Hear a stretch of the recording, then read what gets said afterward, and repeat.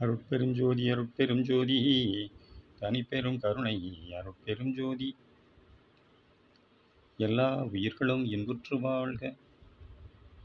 கொல்லா நெறியே குவலயமெல்லாம் ஓங்குக. திருவருட்பிரகாச வல்லற்பெருமான் அருளி செய்த திருவருட்பாவிலே அருட்பெருஞ்சோதி அகவல். இந்த அகவல் பதிகத்திற்கு திண்டுக்கல் சுவாமி சரவணானந்தா அவர்கள் உரை விளக்கம் எழுதி வெளியிட்டுள்ளார்கள். தலைப்பு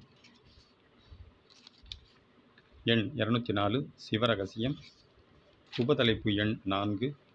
அருட்பெருஞ்சோதி அகவல் வரிகள் தொள்ளாயிரத்தி நாற்பத்தி ஏழு தொள்ளாயிரத்தி நாற்பத்தி எட்டு எம்பொருளாகிய மக்கருள் புரியும் செம்பொருளாகிய சிவமே சிவமே. இயற்கையுண்மை நிறைவாகிய இறையொளியை சிவமாக ஏன் கற்பித்தனர்? எனின் அதனை செந்தி வண்ணமாகிய செம்பொருள் எனக் கொண்டதாலும் உலகுயிர்களை செம்மைப்படுத்தி இன்ப நிலைக்கு ஏற்றுவதாலும் நாசி வழி உயிர்ப்பியக்கத்தில் உட்செல்லும் மூச்சுக்காற்று வா என வாங்கப்பட்டு அகத்தே செலுத்தி சிரத்தே சேர்க்கப்படுவதால் வாசியே சிவகாரமாய் விளங்குகின்றதாம்.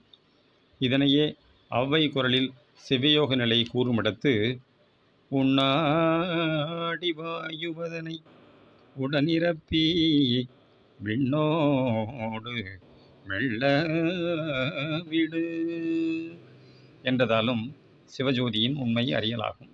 ஆகவே கடவுளை செம்பொருள் என்றவர்கள் சிவ ரகசியத்தை ஓர்ந்தே உரைத்தனர் ஆவர்.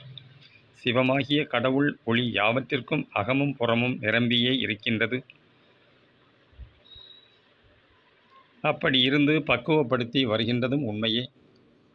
அச்சிவம் மனிதனில் அகமும் புறமும் இருந்து வந்தாலும் மனம் சுத்த நிலை பெற்று அருள் மயமாகின்ற போதுதான் அச்சிவ விளக்கம் அந்த அருள் உணர்வால் உணரப்படுகின்றது.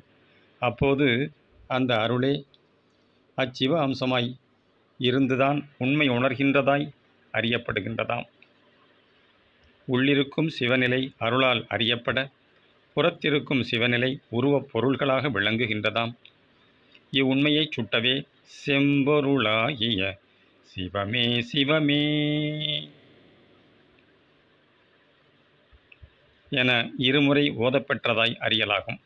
இயற்கையுண்மை நிலையில் செம்பொருளாகி அகமும் புறமும் நிரம்பி நின்ற கடவுள் அல்லது சிவம் சுத்த சத்விசாரத்தாலே உள் விளங்கக் கண்டு அதனோடு சார்ந்து நிற்கும் நமக்கு அச்சிவம் அனுபவப் பொருளாகி விளங்குவதாம். அப்படி இருந்து தயவோடு வாழ வாழ அச்சிவம் அருள் புரிகின்றதாம். அந்நிலையே சிவமாகி விளங்கும் சிவானந்த அனுபவ நிலையாம். அருட்பெரும் ஜோதி அருட்பெரும் ஜோதி தனிப்பெரும் கருணை அருட்பெரும் ஜோதி தயவு.